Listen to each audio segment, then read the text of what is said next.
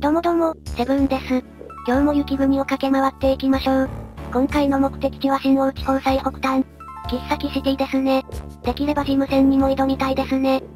前回募集した質問がまだ残ってるので、今回もレベリング中にやっていきましょう。お奥が全然見えない。本家もこんな感じに先が全然わからなかったような。それでは第1問。好きなポケモンは何ですか？エンペルトです。ダイヤモンドパールで一番手持ちにいた時間長いポケモンですね。愛着が非常に湧いております。今こうやって再びエンペルトと旅ができていること、嬉しい限りですね。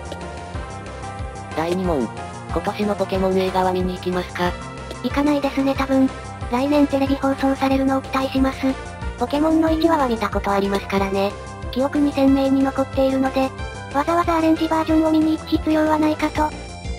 というか今年の映画って、1話をアレンジした感じ、という認識で合ってますかね。全然情報取り入れてないのであれですが、ていうか今年のポケモンはその1作だけなんですかね。3、ムーンの伝説ポジのポケモンメインの映画は出ないんですかね。私は出ても見ないですけど。では次の質問。銀河団は主が設置してるのですか？そうです。トレーナーエディターってのを使ってます。スティーブのアイコンのやつです。撮影外で要所要所でトレーナー設置したり、回復装置置いたりしてます。なぜロケット弾のスキンなのか。トレーナーエディタにロケット弾のスキンしか、悪党のスキンがないからです。BGM は主が変えているのですか？はいそうです。ピクセルモンとこのワールドが連動してるわけじゃないので。エンペルトにあえて名前を付けるとしたら何にしますか？セブンみたいな感じに、ナンバーものですかね。6とか8とか。とまあこんな感じに今回は質問コーナー終了。オックサムラが見えてきましたね。あっ、行き止まりか。あの岩の周辺で EV をレベルアップさせると、グレイシアに進化できるんですよね。でも私はリーフィア派です。譲渡の EV 系統なら、ブラッキーですね。レート戦でもお世話になってましたね。ぜひとも旅のお供にしたかった。でもダイヤモンドパールで EV がゲットできるのは殿堂入り後なんですよね。プラチナでは殿堂入り前でもらえますけど。看板があるってことは、もうすぐ喫茶キシティ、じゃなく、H コか。そうだよ、H コにまず行かなきゃ。H コに入ろうとしたその時、ライバルが姿を現し、遅かったと述べ、その場を去っていった。行くシーも間に合わなかった。一足遅かった。奴らを止めるには、アジトに潜り込むしかない。早く行かないと取り返しのつかないことになりそうだ。急いで事務制覇しないと。お。やっと到着した。懐かしい大型乗り物。喫茶キシティ到着です。ジムが見えてきましたね。ポケモンを休ませて早速挑みに行きましょう。というわけで休ませました。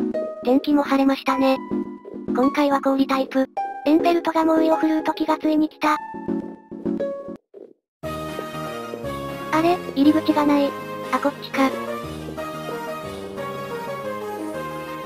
なるほど。氷でツルツル滑るってことか。こうやって雪の塊が行く手を塞いでたんですよね。結構頭使うんですよねこの仕組み。マイクラは体当たりじゃなくても普通に壊せるんだけどね。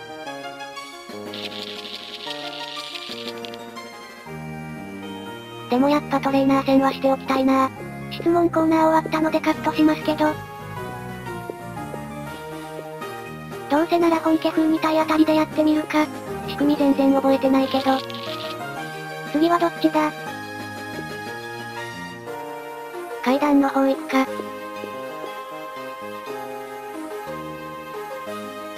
今度は最上段に登ってみるか。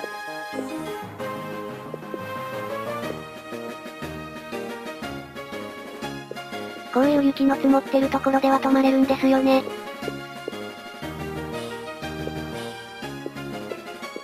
ドン。これであそこが突破できるってわけね。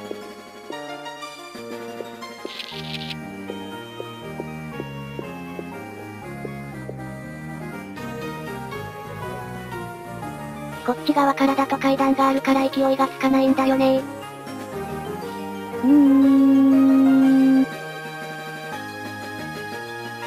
こっち行ってみる。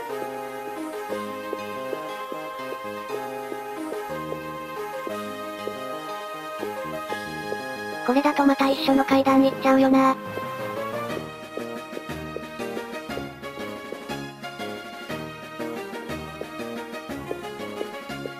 今度は奥の方から行ってみるか。奥の方まで来ましたが、最後がうまく噛み合いませんね。これってトレーナーの5時関係あったっけ？あっこっから突撃すればいいのか。不正なんてなかった。ションよし、やっとゲートがオープンされた。これでジムリーダーの元へ行けます。とその前にポケセンで回復回復。さあ来ました。今回の相手は鈴名さん。早速よろしくお願いいたします。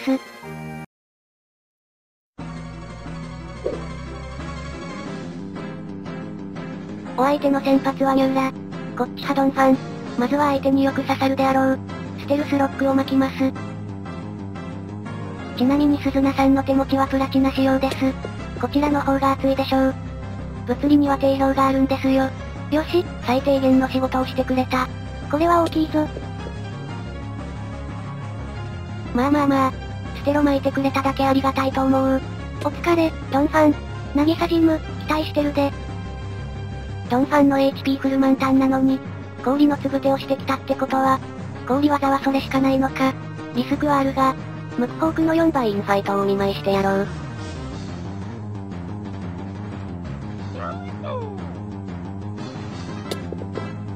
あっ全然余裕だね。ナイス、ムクホーク。そして北か雪目の子。インファイトが効かないとなると話は変わってくる。ここは氷技が来ると予想して、エンペルトに交代するのがベストかな。レッツゴー、エンペルト。あっ今更ですが、ミオジムでもらった技マシン、エンペルトに使いました。ラスターカノン。当たらない。当たらない。これはまずい。嘘だろ。アッ前のシャドボで特防が下がったのか。全く気づかなかった。まずいなこりゃ。電流でなんとか技を当ててもらうしか。どうするこれ。ワンパンしないと厳しいよね。パワージェムより威力が高い雷にかけよう。ロマン砲をかましてやれ。よっしゃ当たった。影分身など無駄なあがきだったな、雪目の子よ。しかしワンパンできない。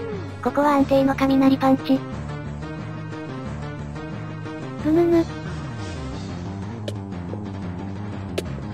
よし、なんとか吹雪一発で仕留めた。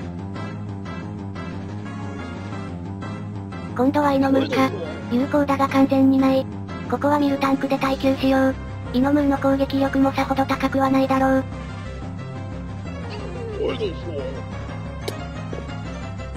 マジか、これはやばい。ミルクのみで様子を見よう。おっこれは乱数が関わってくるか。さっきの地震のダメージが低確率な方ならチャンスはあるぞ。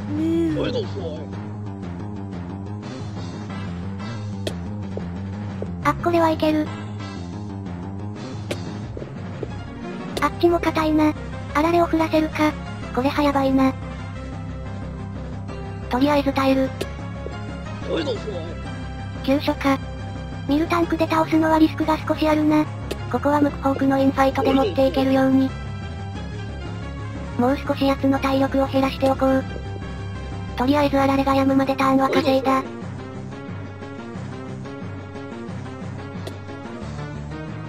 勝負時だ。お疲れ、ミルタンク。さすがにこの体力なら持っていけるだろう。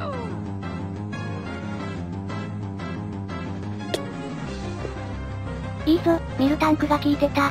サーラスとは雪の王。随分図体のでかいポケモンだ。万が一のリスクを考えて、インファイトゴリ押し。うーん、硬い。ナイスインファイター。さあ電流、決めてやれ。